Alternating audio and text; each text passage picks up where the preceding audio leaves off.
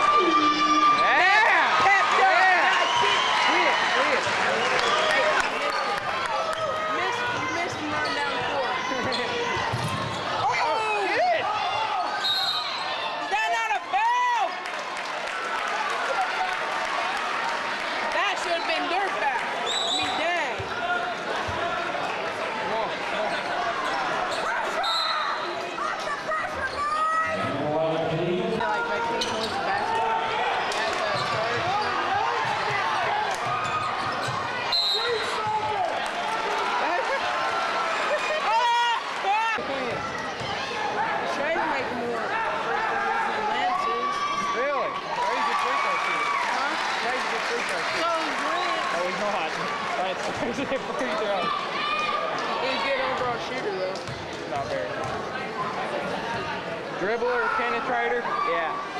Shooter? Ooh.